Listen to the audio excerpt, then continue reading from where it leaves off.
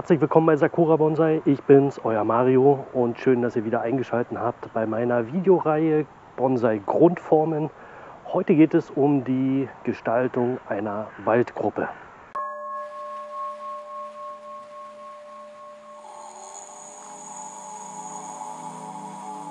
Die Waldgruppe werde ich heute mit euch zusammen gestalten. Und ich habe mir hier ein paar Koniferen geholt, Wacholder. Ja. Und als allererstes werde ich mal die Pflanzen wieder säubern, die, die äh, schon die Videoreihe, einige Videos gesehen haben. Die wissen schon so ungefähr meine Vorgehensweise. Ähm, ich gehe hier so ähnlich vor.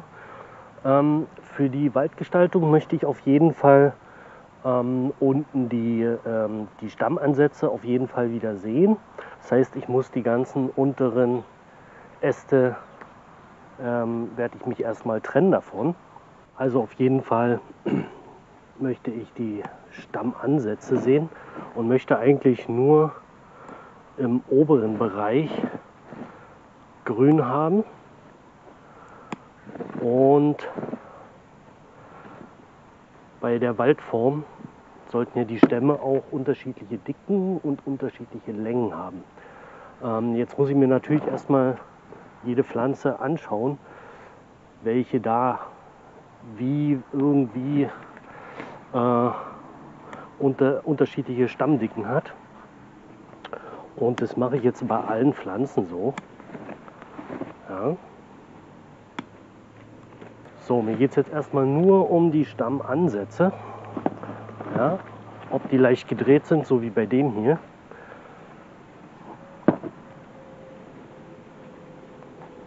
Wird jetzt eine Weile dauern, denn ich habe mich entschieden, hier sieben Pflanzen, habe ich richtig gezählt? Ja, sieben Pflanzen in die Schale einzubringen.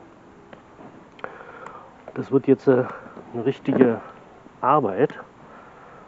Und dazu werde ich jetzt äh, euch nicht behelligen mit den ganzen Pflanzen einzeln hier und werde dann dazu noch was sagen, wie ich dann da vorgehe.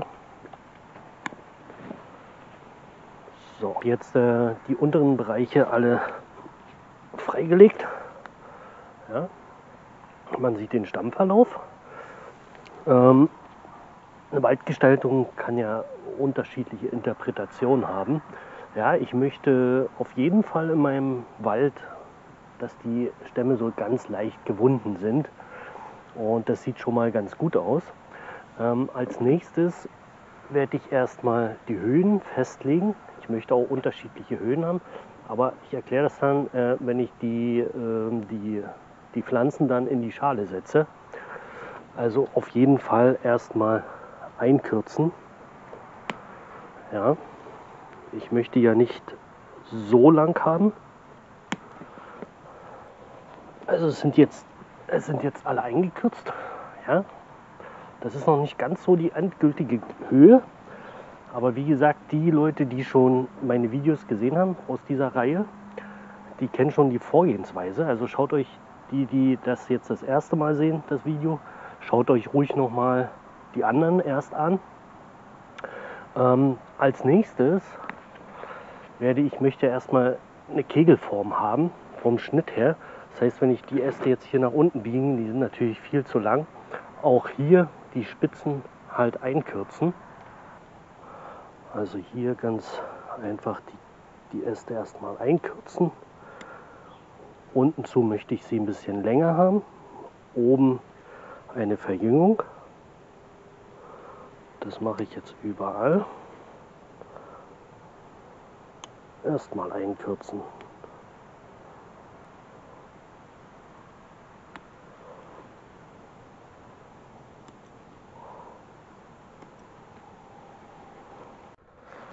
So sind jetzt alle Pflanzen eingekürzt. Ich habe die unteren Triebe länger gelassen und oben stärker eingekürzt. Und ganz oben habe ich eine Triebspitze quasi gelassen, länger gelassen. Ja? Also ist überall im oberen Bereich überall so, eine, so ein Ast, der etwas länger ist, der ist stehen geblieben. Okay, so als nächstes ähm, werde ich inneren Bereich, und das ist ja in den, in den anderen Videos, in den Grundformvideos äh, schon zu sehen, innen erstmal säubern. Das heißt, die ganzen kleinen Zweigchen, die zu sehr am Stamm dran sind. Ich weiß, wir wollen ja das, äh, das Grün am Stamm haben, aber die sind störend beim Eindrahten. Die brauche ich nicht. Da mache ich mich auch kaputter, wenn ich dann jeden, jedes kleine Zweigchen da noch einkürze. Also innen alles säubern. Und dann hatte ich, aber ich erkläre es jetzt einfach nochmal, hatte ich ja schon mal äh, das allererste Video, frei aufrechte Form, so mit den Etagen das erklärt. Und da gehe ich jetzt genauso erstmal vor. Also ich mache jetzt an jedem Bäumchen, schaue ich, dass ich da Etagen einarbeite. Das heißt, ich trenne mich von, von den Zweigen oder Ästchen, die direkt übereinander oder direkt nebeneinander stehen, von denen trenne ich mich. Äh, ich möchte trotzdem bei der Waldgestaltung auch äh, Etagen sehen. Das heißt jetzt äh, hier zum Beispiel, ähm, die beiden stehen direkt äh, nebeneinander. Ich habe jetzt hier den nächsten Ast, das heißt ich trenne mich hier von dem. Den brauche ich nicht.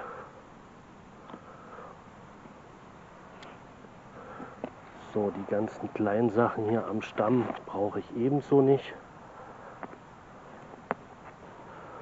Und so mache ich das jetzt überall. So, Etagen, Etagen, wunderbar. Oben wird es dann dichter.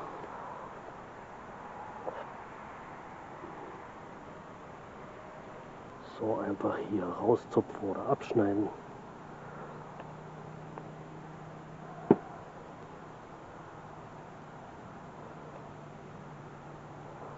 So, hier innen die Sachen, die brauche ich nicht. Ja. Die ganzen kleinen Sachen einfach abzupfen. Geht bei der Pflanze ganz gut hier. So mache ich das jetzt an, an jeder einzelnen Pflanze. Ja. Ich habe jetzt äh, die Triebe deshalb schon eingekürzt, weil sie wirklich viel zu lang sind die Zweige jetzt ist immer noch nicht die endgültige Position. Ich gehe dann während der Gestaltung dann nochmal mit der Schere rein und kürze Zweige ab. Ja, das ist jetzt einfach nur eine grobe Kürzung. Ja, also da wird noch ein bisschen Laub fallen. Und auch alle, alle oben stehenden und unten, nach unten stehenden, wie die hier, von denen werde ich mich dann trennen. Oder wenn sie seitlich, un, unterhalb seitlich herausragen, dass ich die dann mit eindrahte und nach oben nehme.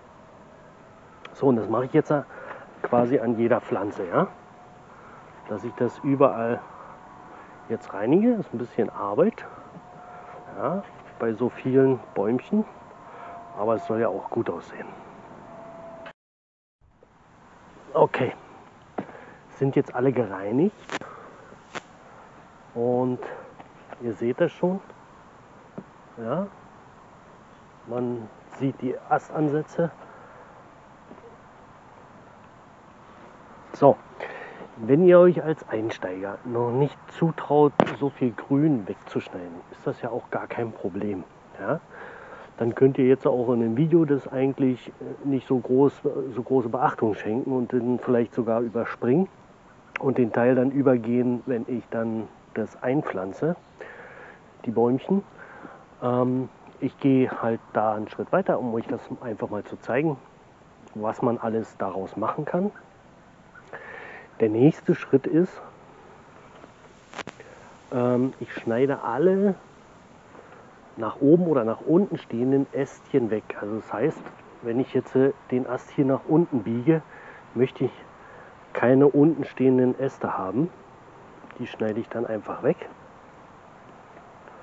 Ja. Und auch die nach oben stehenden schneide ich weg. So dass ich nur die seitlichen Triebe habe Und dann tue ich mich auch mit dem, mit dem Eindrahten etwas leichter. Ja.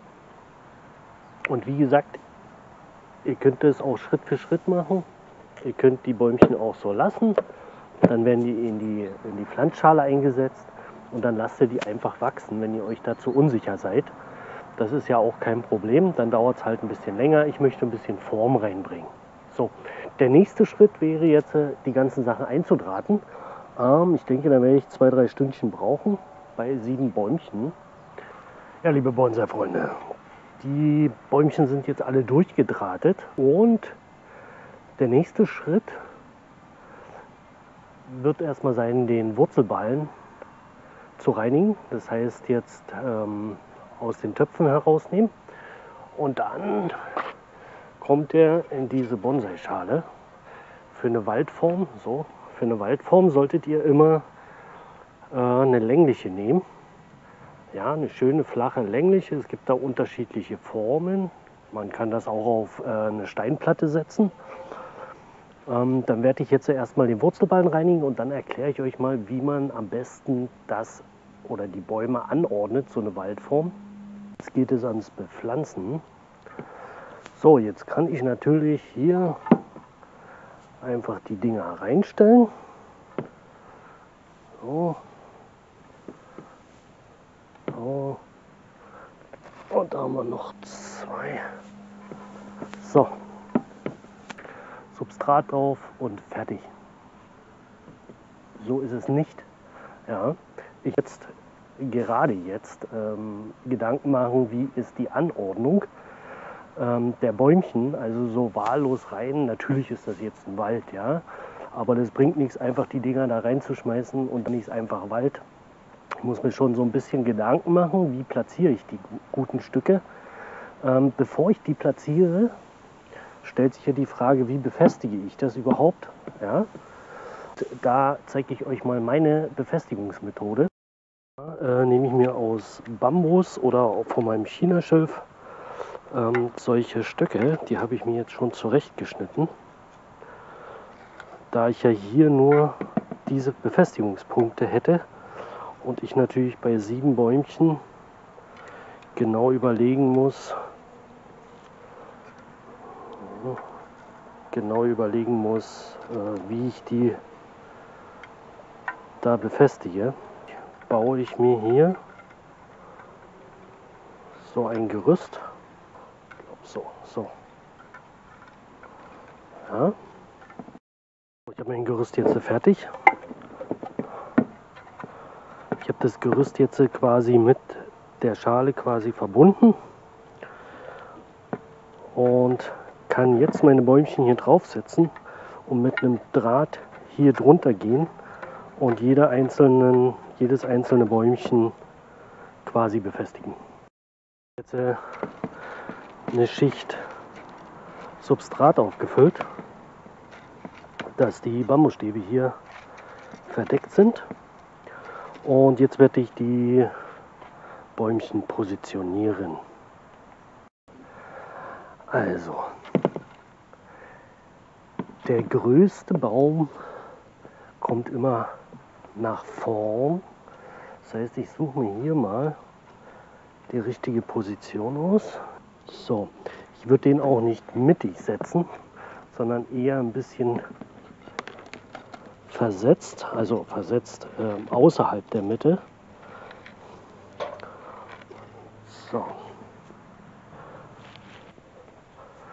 Dann suche ich mir den nächst dickeren und größeren Baum aus.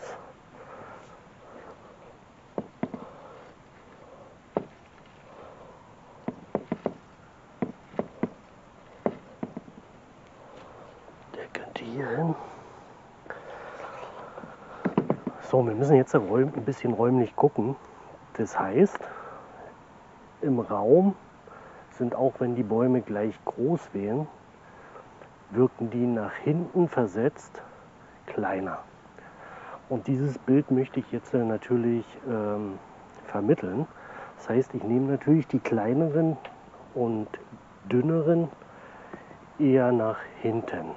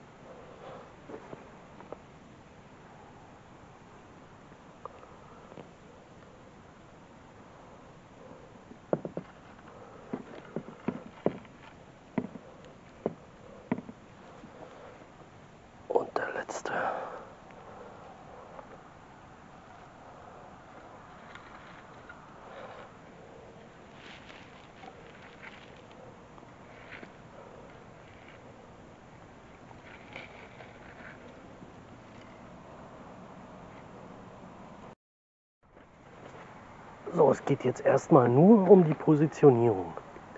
Bei der Waldgestaltung, wie ich gerade gesagt habe, der größere sollte nach vorne, die kleineren nach hinten zu verlaufen, dass mehr, mehr Raum entsteht. Ja? So, ihr könnt die natürlich Kerzen gerade einsetzen. Ich möchte ein bisschen Dynamik drin haben. Ich werde die ein bisschen, die äußeren ein bisschen seitlich hier rüber ziehen. Bei der Waldbepflanzung, ganz wichtig nochmal, sollte möglichst von allen Seiten sollten die Stämme zu sehen sein. Es sollte kein, kein Stamm direkt, so wie der hier, und das jetzt, direkt so dahinter sein. Ja, man muss den Stamm sehen, also leicht versetzt und zwar von allen, von allen Seiten. Ja, sollte man möglichst alle Stämme sehen. So platzieren, also versetzt platzieren.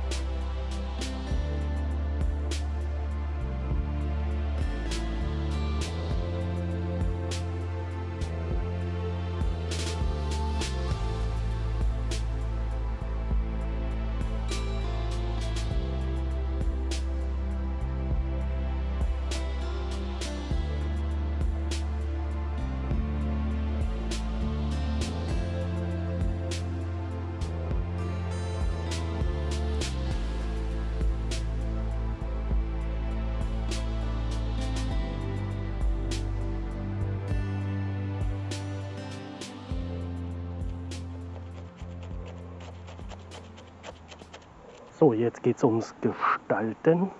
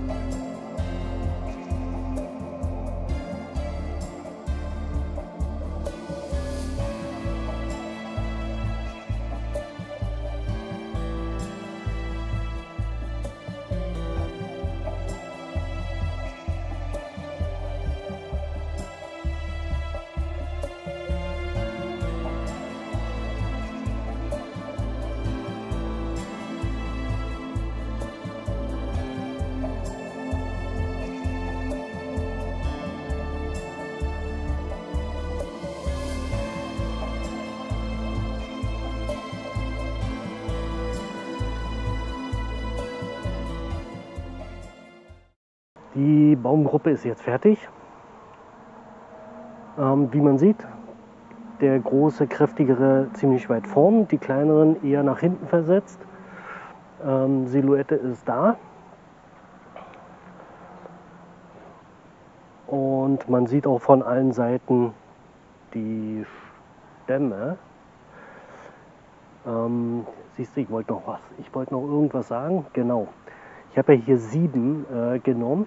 Äh, man nimmt immer bei Waldgestaltung ungerade Zahlen, ja, also sieben, wobei neun im Japanischen eher eine Unglückszahl ist, aber davon mal abgesehen.